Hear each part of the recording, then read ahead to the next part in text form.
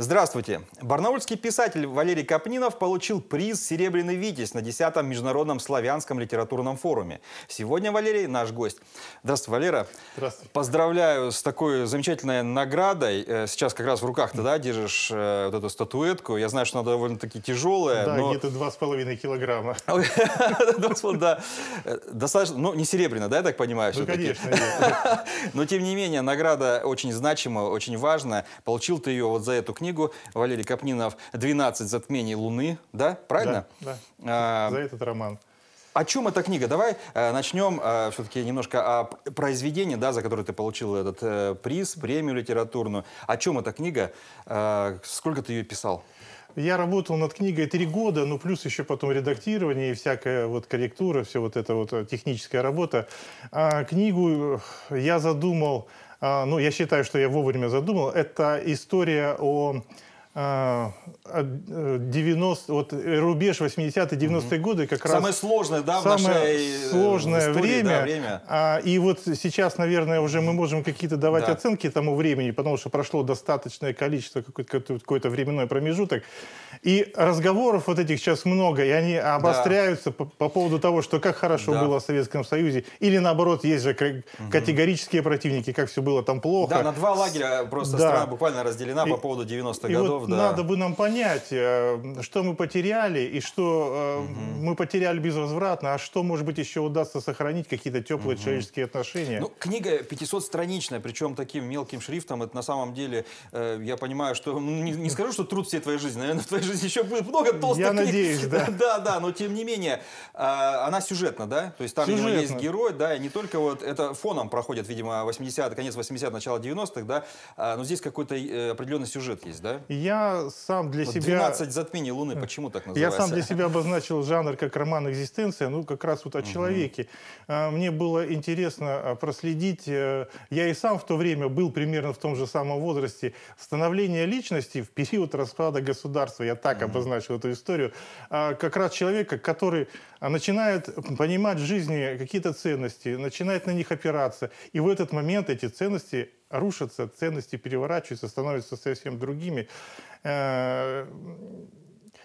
Э, это не, не фэнтези, это не фантастика, Нет. потому что э, твои читатели знают тебя все-таки как больше, наверное, все-таки как, как писателя-фантаста, да? То есть, ну или так, э, тяготеющего в фантастике, Это, это роман реалистический, безусловно, хотя а, я там, а, опять же, делаю какие-то допуски в сторону фантастического угу. реализма или магического реализма, но жизнь, она сама Конечно. такова есть, да, а с нашими снами, с нашими всего мечтами. Всего хватает и мистики, и реализма. Совершенно верно. Угу. И то время, там же ведь было всего намешано, там такие страсти кипели, угу.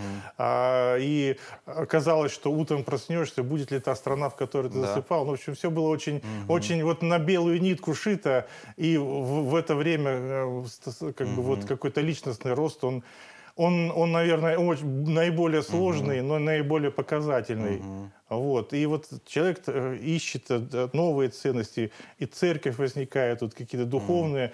Ну, ну, когда государство да. об этом перестает думать, человек обращается да, ну, э, к вечным Ищет какую-то почву, на что опереться, за что схватиться. Если не, не за что держаться, держись либо за веру, либо за песню, да? Да, как пел Гибищуков, чтобы стоять, нам нужно держаться корней. Да. Там все, вот все наши корни, они действительно помогают нам держаться в, в очень сложные времена. А их в нашем государстве было не немало.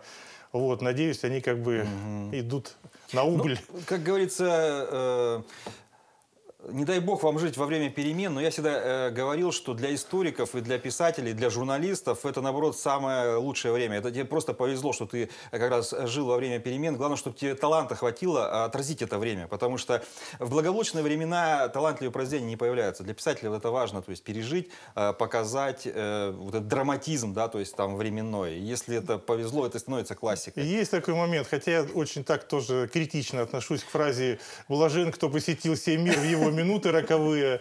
А вот тут тоже, конечно, Это палка тебе, о двух тебе концах. просто человек, понимаешь? Э, Человек э, периодически давлеет и побеждает писателя. Но я, я думаю, что писатель говорит, нет, все-таки хорошо, что я в это время появился, потому что мне есть о чем писать. Валера, ну именно с этой книгой, да, э, ты вышел на, на конкурс. Я, на конкурс, видимо, фестивальный какой-то был, было жюри, да, вот этого 10-го международного славянского литературного форума. Он называется тоже «Золотой Витязь». В общем, это называется. Расскажи немножко вообще об этом форуме, да, об этом э, э, мероприятии, да, что там? Это э, ну, подразделение, скажем так, вообще международного славянского форума. А начиналось это президент его Николай Петрович Бурляев, Актер, народный артист смысле? России, а, всем, всем известный.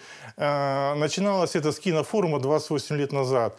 И, э, как сам говорит Николай Петрович, э, их коллектив э, обнаружил такой, ну, обнаружить было, не обнаружить было несложно, о том, что в государстве нет культурной программы, вот подлинной культурной программы. И они обращались к президенту, они обращались к патриарху, и они а, сейчас у них идет по всем подразделениям, то есть идет кино, Да. кино у них идет изобразительное искусство, музыка, литература, а, и Хорошо, они этим молодцы. занимаются. Вот э, литературный форум, он десятый по счету. Он, он, наверное, у них самый новичок. Э, Представитель жюри там Владимир Николаевич Крупин, известный автор. Когда, Да. когда начинал первый, а, когда открылся форум, был председателем жюри Валентин Григорьевич Распутин. А, Ну вот, к сожалению, да. его не стало, его место занял Крупин.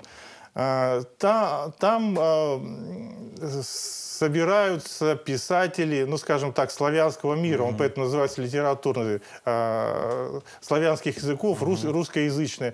Хотя вот там мне тоже, я рассказываю, говорю, вот у нас были, всего вот в этом году было 302 заявки, 90 человек прошли э, в шорт-лист, но это на 7 номинаций. да. Вот в номинацию «Проза», где я номинировался, у нас там было 25 человек. А, ну, из них пятеро Получается, оказались страны, это не, только с России, но со всей страны, Нет, да? да, есть там были сербы, там были да, болгары, славянский там, а, там была Босния и Герцеговина, там был Австрия, ну, если Да. человек, да, он живущий, просто живет в Австрии. Там были из Китая тоже наши русскоязычные люди, которые эмигрировали, там живут и пишут на русском языке. Ду- Вообще э, это важно, это замечательно, что проводят такие э, мероприятия, литературные форумы, потому что действительно, ну, к сожалению, сейчас вот э, чувствуется эта разорванность связи, да, разорванность связи и не только международных, даже внутри страны-то, то есть регионы как-то живут отдельно от Да. центра, то есть политического, литературного, культурного центра, и вот, к сожалению, не хватает вот этих вот мероприятий. А каким образом тебя кто-то рекомендовал а, вот э, э, на, этот, на этот форум, то есть, или ты сам, Нет. то есть, это тоже это интересно нам, как вот, ну, людям, пишущим, может быть, э, Нет, я узнать. просто, просто смотрю, он также как бы выкладывает положение. Просто случайно увидел, то есть, по сути дела, ты случайно попал, Я да, уже получается? участвовал в 2017 году. Я отправлял, у меня когда вышел дебютный сборник рассказов, я отправлял туда. Ну, тогда в лонг-лист я вошел, Да. вот дальше нет. А сейчас я э, следил за своим продвижением, я вошел в лонг-лист. Прошло время, я смотрю, я вошел в шорт-лист. Думаю, ну хорошо, ну уже, уже, уже шаг, даже если я здесь остановлюсь. Конечно, И потом мне приходит письмо от Золотого Витязя, где пишут, мы имеем честь пригласить вас на итоговое э, как бы собрание наше. И э, одна строчка, которая мне бы, Потрясла, которая тебя по- потрясла, наверное, не что- поверил, да? да, что э, с собой иметь опубликованные книги для того, чтобы дарить в библиотеке для встречи читателей, и быть в костюме.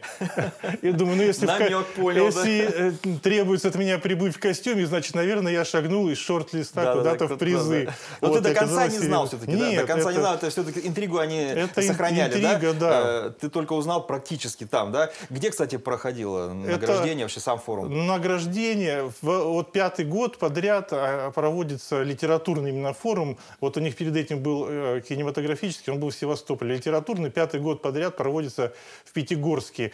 А, И в этом году как раз э, 205 лет со дня рождения Да. Михаила Юрьевича Лермонтова. Удачи тебе, получать как можно больше литературных премий, здоровья и до новых встреч. Спасибо большое. Я когда выступал на сцене после вручения, я сказал, что для меня большая честь увести этот приз на родину моего великого земляка Василия Макаровича Шукшина. Мгм.